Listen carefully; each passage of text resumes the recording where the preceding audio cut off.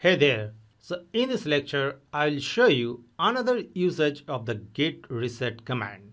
So here we'll be dealing with git reset and a particular commit ID. We'll have the soft option as well as hard option. So let's use the git log command dash dash one line, press enter. Okay, so let's assume that we'll reset our repository to this commit ID Okay, so let me show you the command. So you use the git reset and then as we said that we decided to reset to this commit ID. So let's paste the commit ID here and let's press enter and let's check the log once again. Git log dash dash one line press enter and here you go and here you can clearly see that this particular commit ID which was ahead earlier has been reset to this commit ID, which means the entirely the fifth commit is missing here since we have reset it to the fourth commit. Now say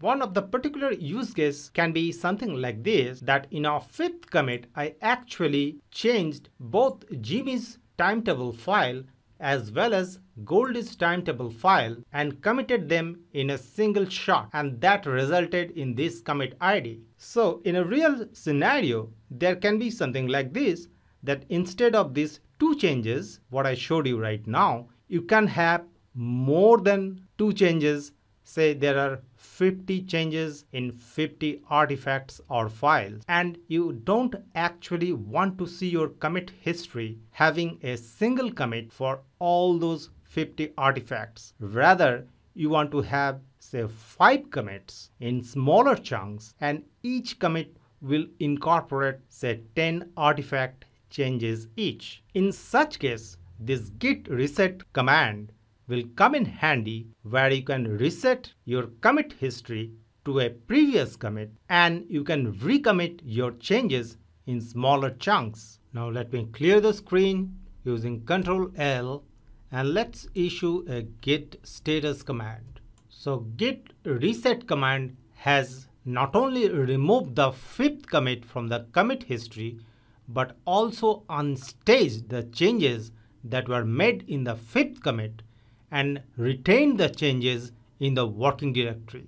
So these are the actual changes that were made in the fifth commit and they have been retained in the working directory and now we are ready to commit them in smaller chunks. Okay, now I'll show you how to recommit the modifications in smaller chunks. So we'll use git add command for this purpose. So we'll add first the Jimmy's table. So let's press enter and here we have added Jimmy's table.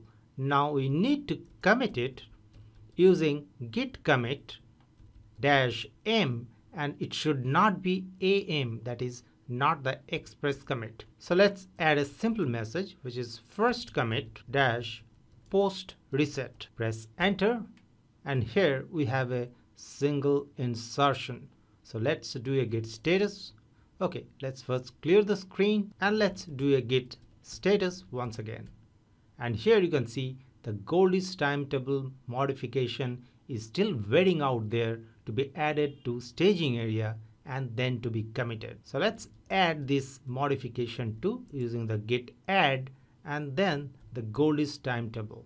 Press enter and let's commit these changes using the git commit command with the simple M option and not the express commit. So we'll add it as second commit post reset and press enter and here we have our commit done. So let's do a git status once again and here we have our working directory clean.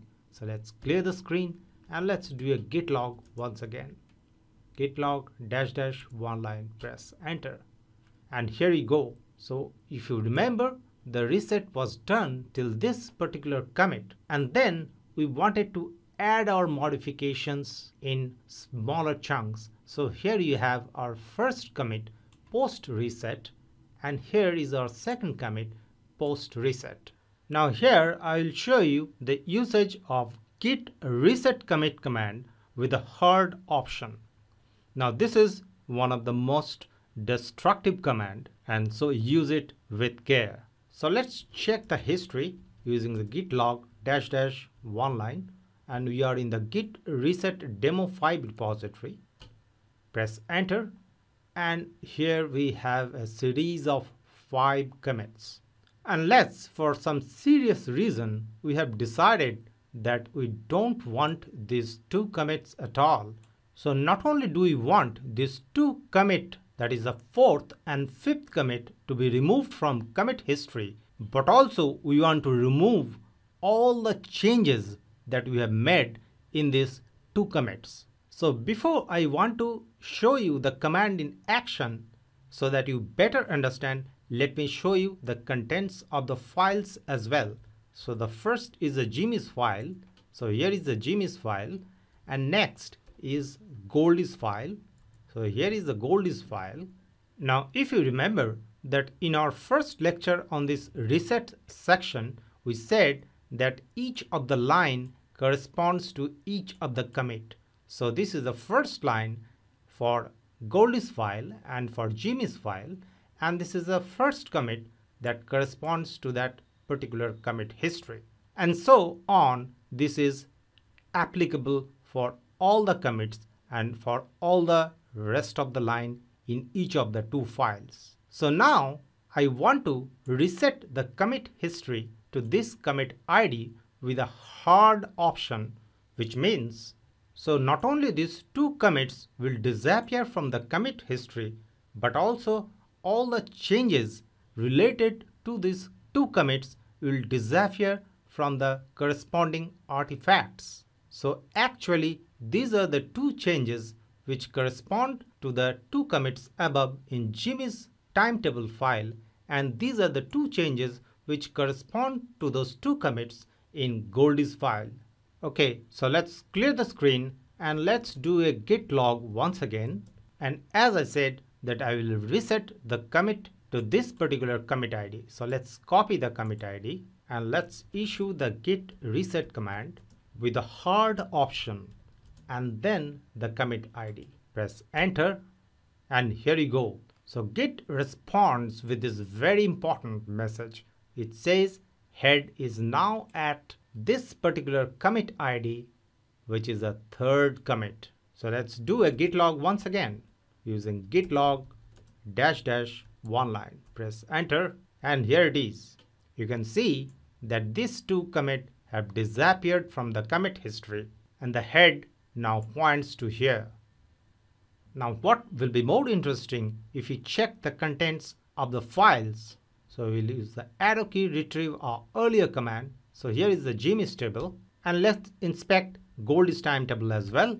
So you can see the only three lines are here for Jimmy's timetable file and only three lines are here for Goldie's timetable file and those two lines for each of those files corresponding to these two particular commits have disappeared along with the commit history.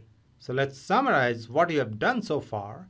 So the git reset commit with a hard option moves the current branch tip backward to the commit ID we are using and resets both the staging area and the working directory to match. This destroys not only the uncommitted changes but all commits after the commit ID in question as well. So the commit ID in question here was this one.